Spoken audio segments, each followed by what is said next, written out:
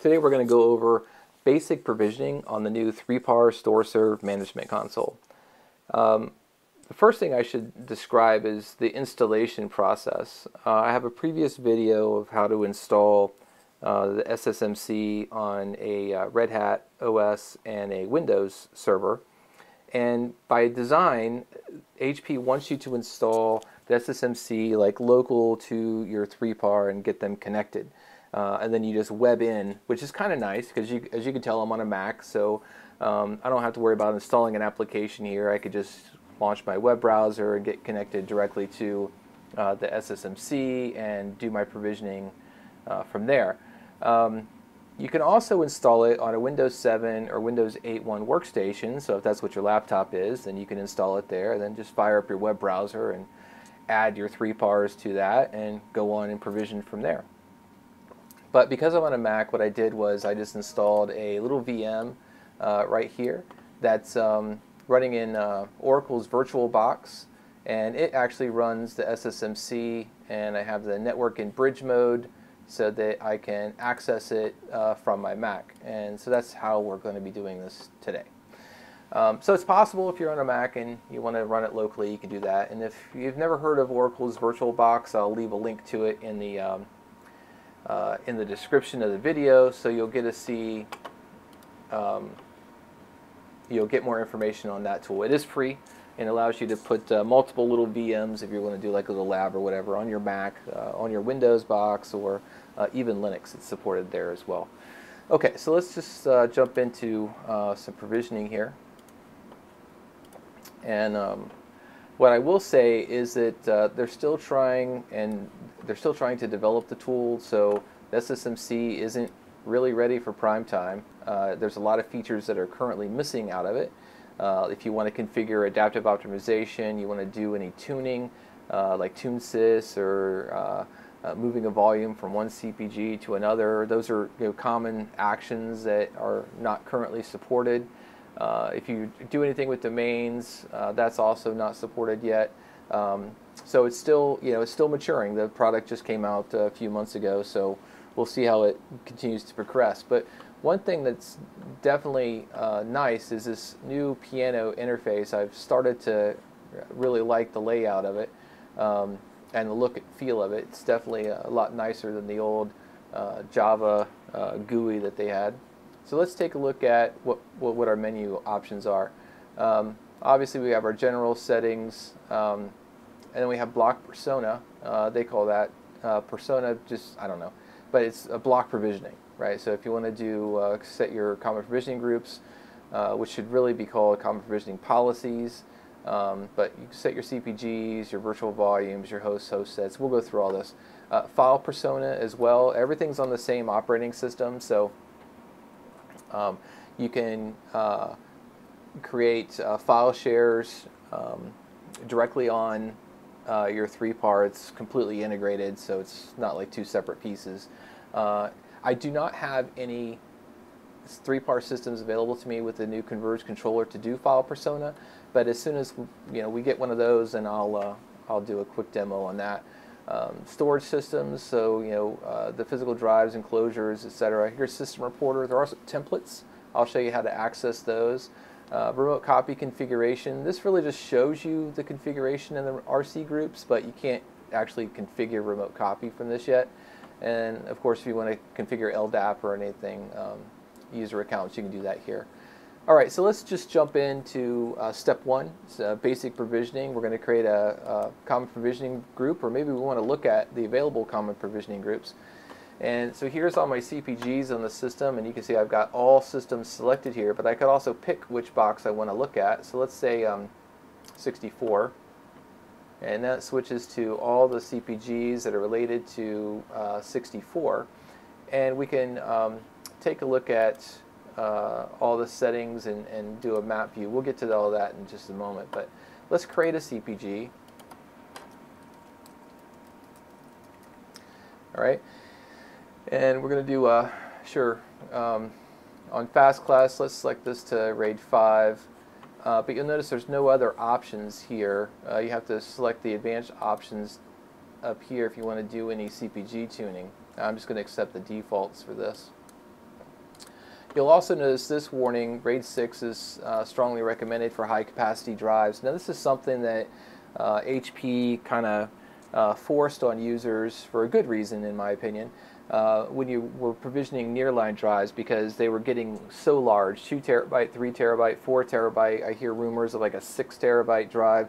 That's a lot of data to rebuild if you were uh, trying to rebuild from a drive failure, even for the 3 par with its many to many uh, sparing algorithms.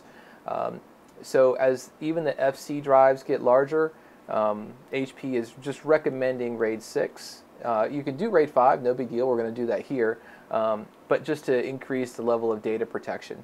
Now, personally, if I've got 1.92 SSD drives in my all-flash array, I provision RAID 6. And there's three optimal levels of RAID 6 for the 3PAR, and that's um, uh, 4 plus 2, 8 plus 2, and 14 plus 2.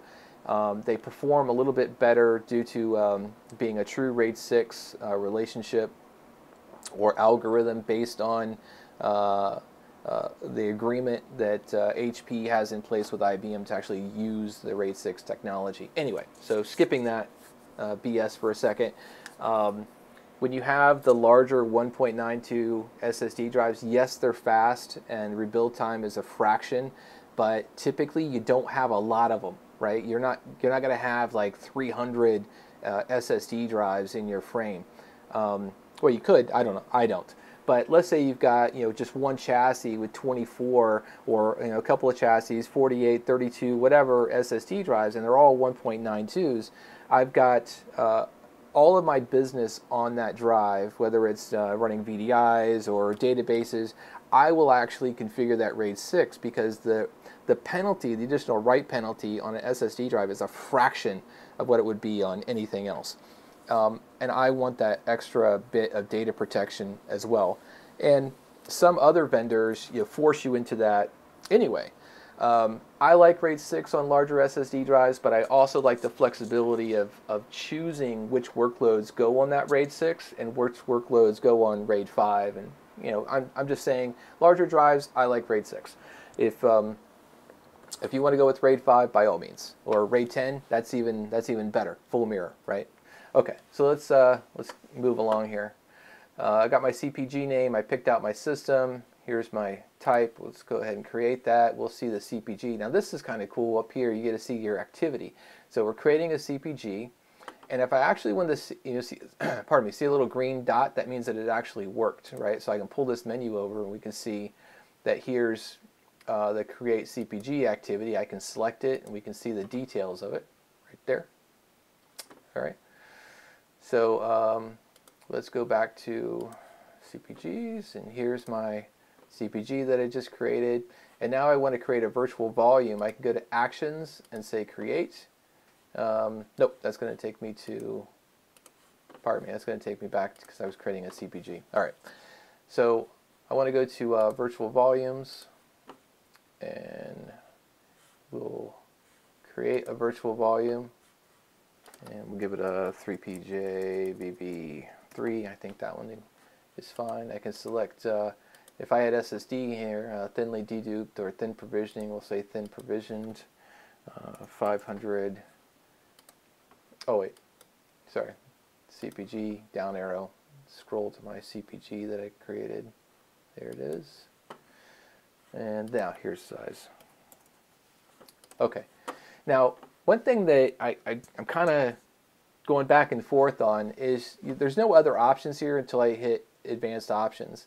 Um, so let's select that. But what you're going to see is the CPG that I've allocated here, it's automatically going to fill that into my copy space, which I'm not really a fan of. So when I select that, uh, advanced options, additional options, here we go.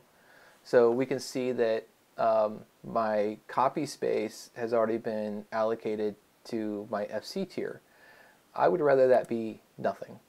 Um, mainly because if I accidentally take a snapshot or set up a schedule of snapshots, um, just because I know that there's copy space and I can do it, then I'm going to end up filling my FC tier. So I, am going back and forth on whether or not that should be an option, but it's definitely something to check because sometimes I want to put it in nearline, and if I'm running remote copy, I might actually want my snapshots to be in a fast tier because I'm taking a snapshot and replicating from that tier if it's async, right? So um, there's a use case for both, but I would rather just it be a default empty and it make me um, put in copy space. Um, okay, here's the policies. We don't really need to worry about any of that.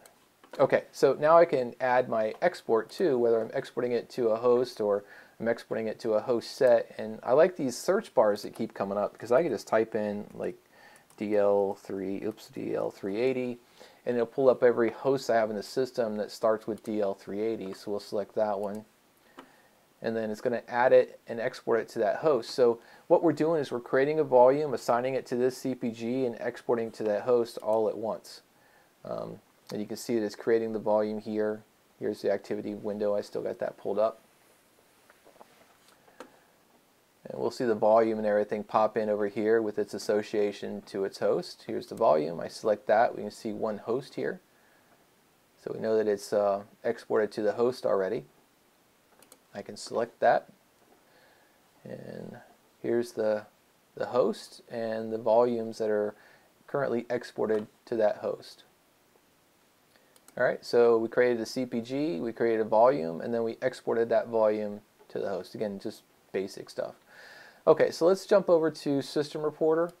Um, as you can see, there's nothing in System Reporter. I've got one report that I ran earlier, so that's there, but there's just nothing here.